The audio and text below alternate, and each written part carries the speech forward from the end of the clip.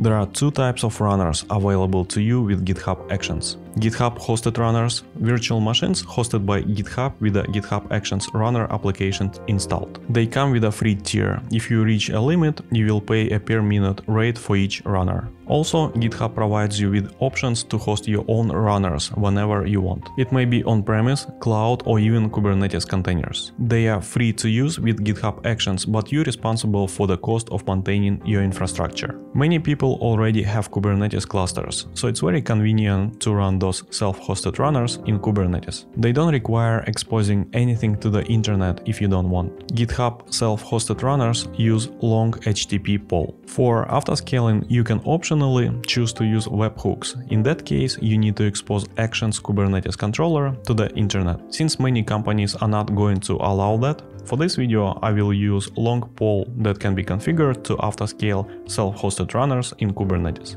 For scaling, you don't need to install a Metrics server or Prometheus. Metrics pulled directly from the GitHub API. First of all, let's create a repository where we will be testing our GitHub Actions workflows. Let's call it lesson 89 and make it private. It's a general recommendation from GitHub. If you want to use self-hosted runners, your repository should be private. This is because forks of your repository can potentially run dangerous code on your self-hosted runner machines by creating a pull request that executes the code in the workflow. For now, let's leave it alone. We will come back to it later after we create a Kubernetes cluster and deploy a couple of components. You can use your existing Kubernetes cluster to deploy self-hosted hosted runners. For this video I prepared Terraform code to create VPC, a few subnets and an EKS cluster which I named demo. All the code and links are available in description. Let me quickly go over those Terraform files. First is provider. I already created an admin user in AWS and configured default credentials to use with this provider. Then we have VPC.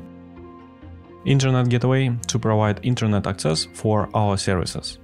Then I have four subnets in two different availability zones to meet EKS networking requirements. Two private to host Kubernetes nodes and two publics to provision load balancers to expose services outside of the Kubernetes and VPC. NAT gateway to provide internet access for services in private subnets. A couple of routes, public with a default route to the internet gateway and private with a default route to NAT gateway. EKS cluster with IAM roles, and a managed instance group.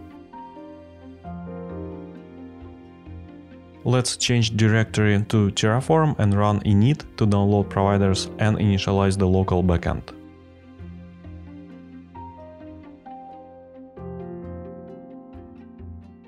Let's run Terraform apply to create all of those resources in AWS. Confirm that you want to create 22 objects and wait a few minutes till Terraform provision your infrastructure.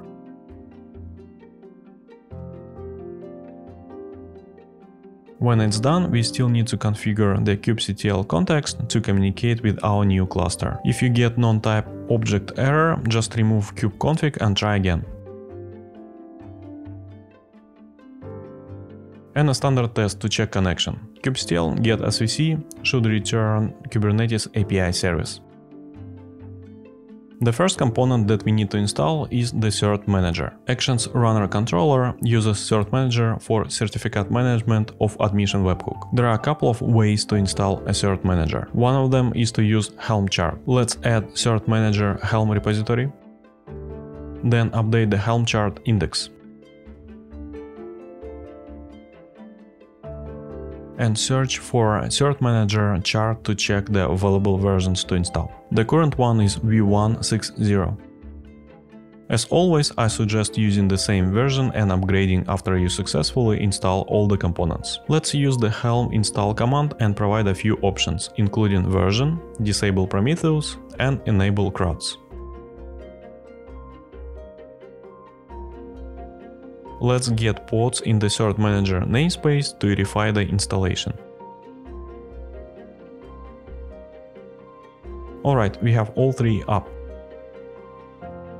Now we need to set up authentication with GitHub API. There are two ways for Actions Runner Controller to authenticate with GitHub API, using a GitHub app or using a PAT. Functionality-wise, there isn't much of difference between the two authentication methods. The primary benefit of authenticating with GitHub app is an increased API quota. Let's go with GitHub app authentication. First, we need to create that GitHub app. You can either create an app on your personal account or if you want to use self-hosted runners across all your organization repos, you need to create a GitHub app on the organization level. For this demo, let's do only for my account. Go to settings and developer settings.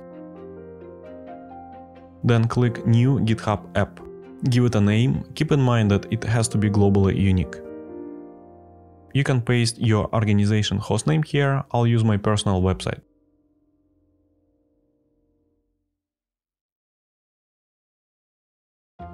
Let's disable webhooks. If you want to use webhooks, you must expose your Actions controller outside to the internet. Not many companies will allow you to do so. By default, for autoscaling, we will be using a long HTTP poll. In that way, we don't need to expose anything to the internet. Webhook is usually helpful to autoscale quickly, but we still will be able to do that, but with a small lag.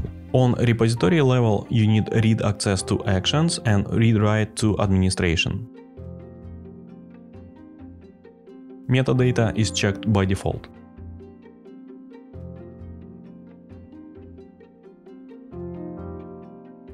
Next step, we need to generate a private key for our app.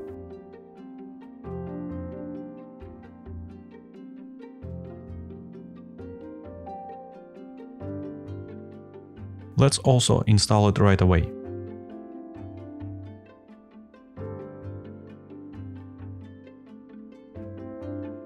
I will select only the new repository that I created for this tutorial, lesson 89.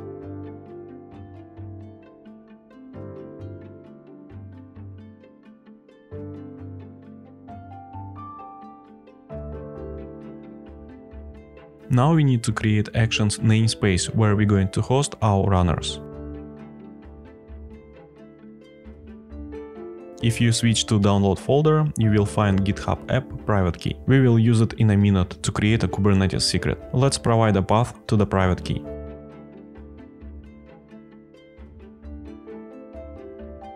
Then we need installation ID that we can grab from the URL.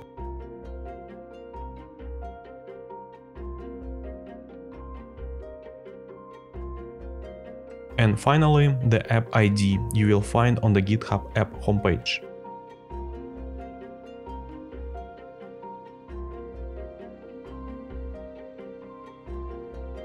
Alright, a secret is created.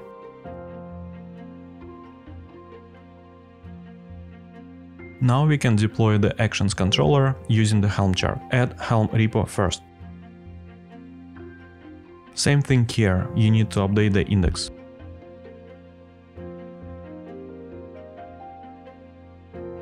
We're going to be using the 0.14 version of this Helm chart.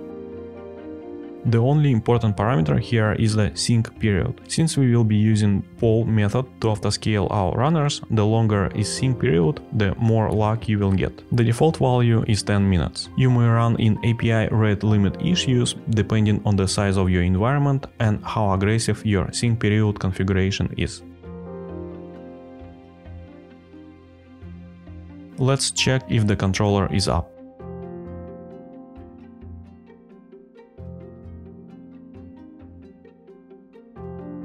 Now let's create our first self-hosted runner. We will be using the custom resource definition that comes with this operator. Let's create a runner YAML file.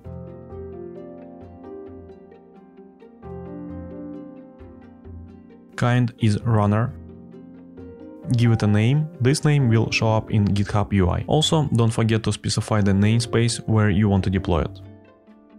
You can define your self-hosted runner on organization level or you can bind it to a particular repository as we do here. The last argument is array of empty environment variables. It's here just for your reference in case you need to declare them later.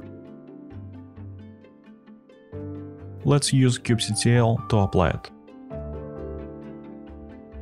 For the first time, I would recommend checking logs of that runner to make sure that it was successfully registered with GitHub API. First get pods and then check the logs.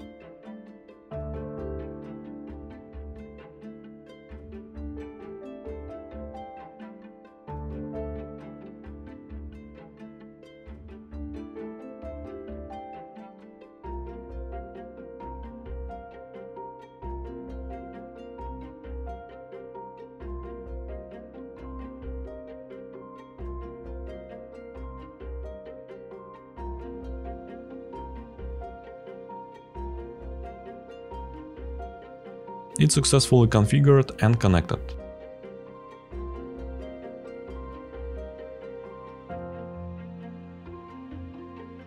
Now we can go to GitHub Actions tab, this self-hosted runner should show up there as well.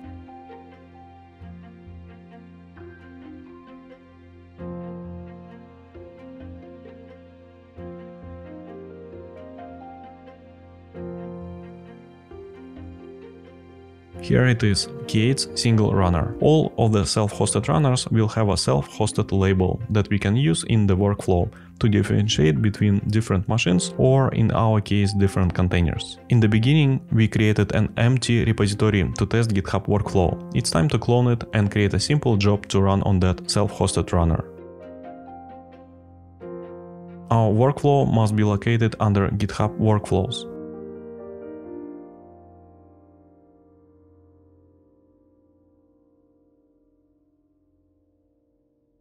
Give it a name example 1, then just run this workflow on each push to the main branch. Here we specify that we want to run this job on self-hosted runner. The first step is to check out the code, which is really unnecessary here. Then just print something to the console. Alright, let's commit everything and push to the GitHub. It should immediately detect the new workflow and start running.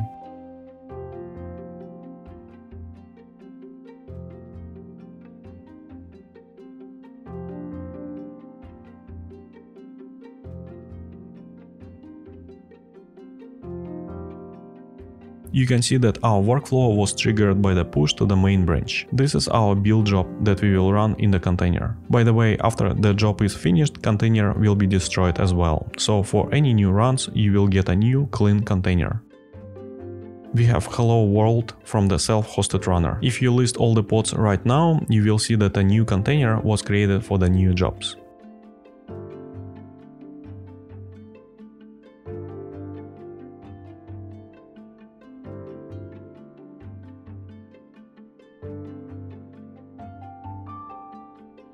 The second custom resource definition is runner deployment. Now we can manage multiple containers within one group.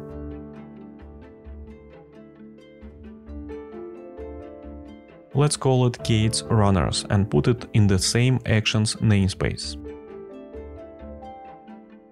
Same here, specify either organization or a single repository. Optionally, you can give your self-hosted runners labels and use them in your workflow. As with any deployment, if you won't specify the replica count, it will create only one pod. If you don't want to use autoscaling, just add replica with the number of workers you want. I will improve and add autoscaling in the following example. Let's go to the terminal and apply that runner deployment.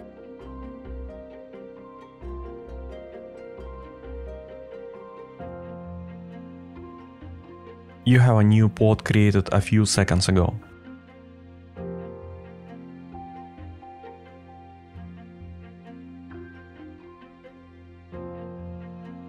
Now let's disable our first workflow by adding bug at the end.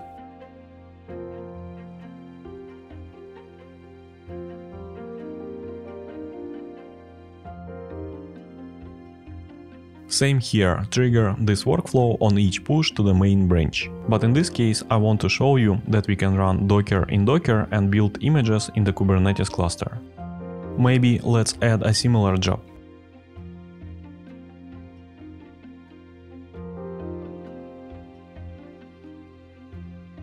Now let's create a very simple Docker file and install something in it, for example Nginx.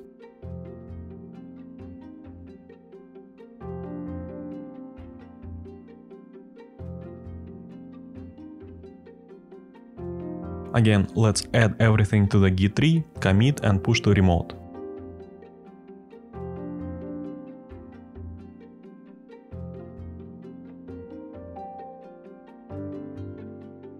Alright, it's building.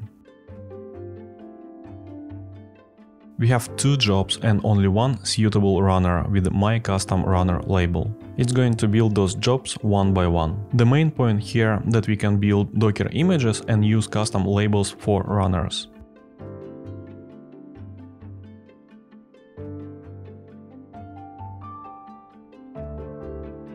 Let's disable this workflow as well. And create example 3. It's going to be identical to example 2, just copy paste the same build job multiple times. In this example, we want to autoscale our runners based on the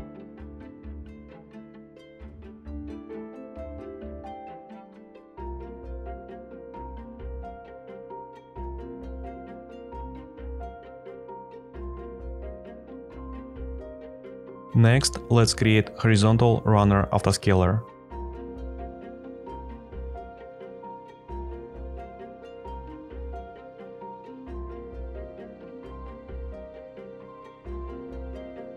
It will target our runner deployment. Also, we can specify after what time we can scale down the pods. The default value is 10 minutes, here we set 5 minutes. Specify min and max replica. Finally, choose the metric type that you want to use for autoscaling. I will use the total number of queued and in progress workflow runs. This metric comes from GitHub API, so you don't need to install anything extra, such as metric server or Prometheus, and specify the repository associated with that metric. Let's apply it now.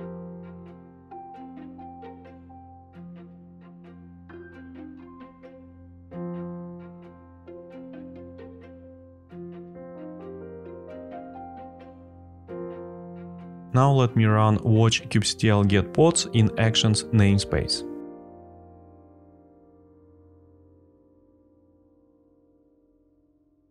Let's switch to our test repository, commit a new workflow and push it.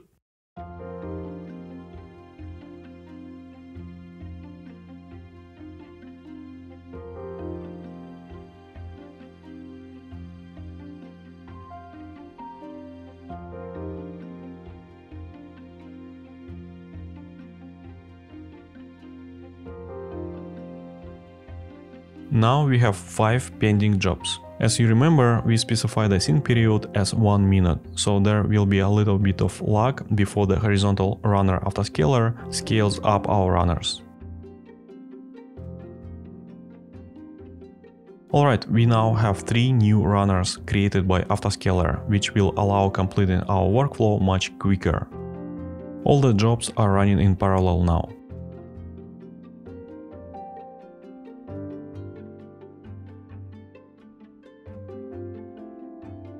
Everything is completed and we don't have any new jobs. It will take up to 5 minutes to scale back runners in the Kubernetes. All of them gone except one runner. Thank you for watching and I'll see you in the next video.